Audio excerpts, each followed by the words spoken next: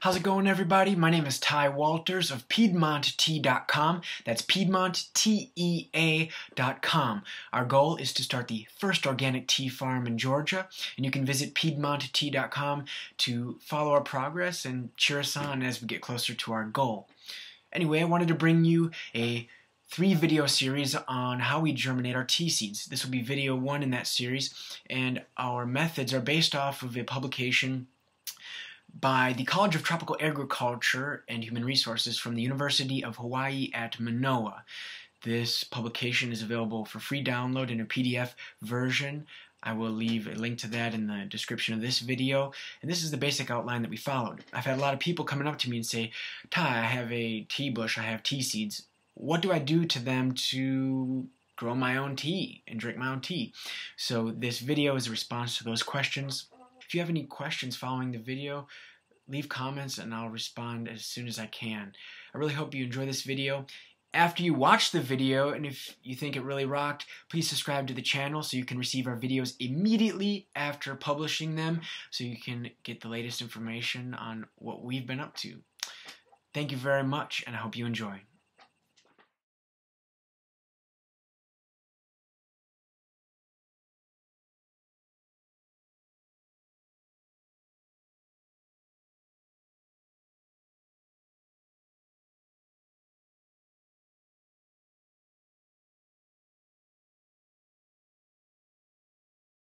The first step is to use freshly harvested seeds and um, soak them in water. Um, as you can see, these are very fresh seeds, harvested only days ago, but most of them are floating.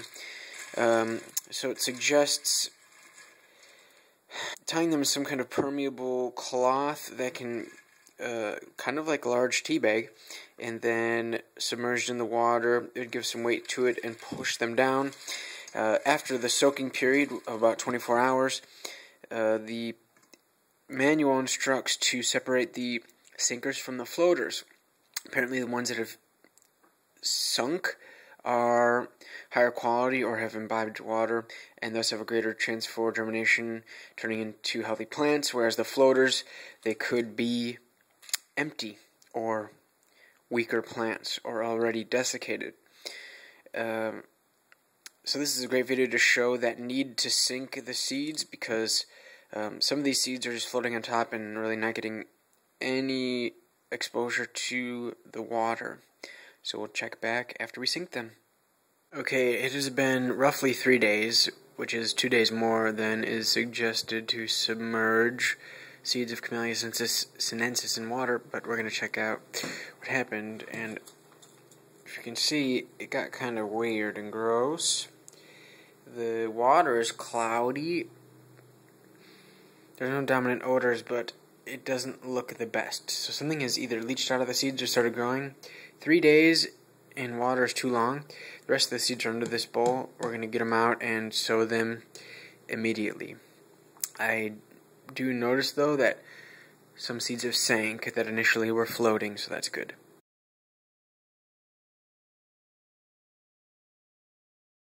So I have hundreds of seeds in here. What I'm going to do is, since the water got kind of funky after three days, too long, I'm going to strain it out in a colander, in a colander in the sink. So I'm going to dump all the water out, and I'll just have seeds. It is already 8.23 p.m. and it's kind of dark and scary outside, so I'm probably going to put those in the fridge, and then tomorrow morning I'm actually going to sow them in some soil.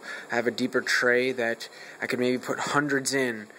Um, so I'll have hundreds of seeds in a small tray, a very space saving technique if you're working with small spaces like I am.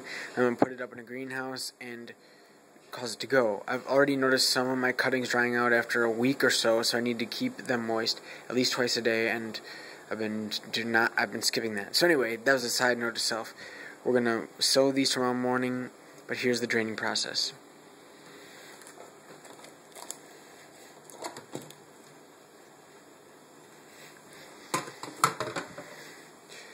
Kind of nasty. It's kind of heavy. I'll put this over here and we're going to drain it. Those big ones are Camellia japonica seeds. Those aren't tea seeds. Here they come. So I put some seeds in a sock to submerge them kind of like a tea bag, a drying tea bag. And it kind of worked. Alright, the seeds are out, and I noticed that there's one bag I need to free some water from, so I'm going to free that, and I'll let them dry out. Here we go. Oh yeah. We empty? Okay, that's kind of gross.